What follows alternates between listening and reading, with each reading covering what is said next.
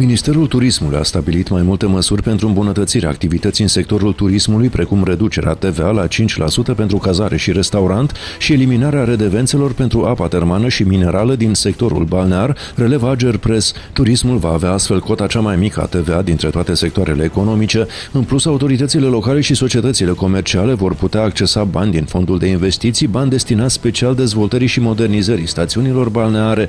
Estimarea Guvernului pentru dezvoltarea turismului balnear prevede prevede investiții de minimum un miliard de euro prin proiecte în următorii 10 ani.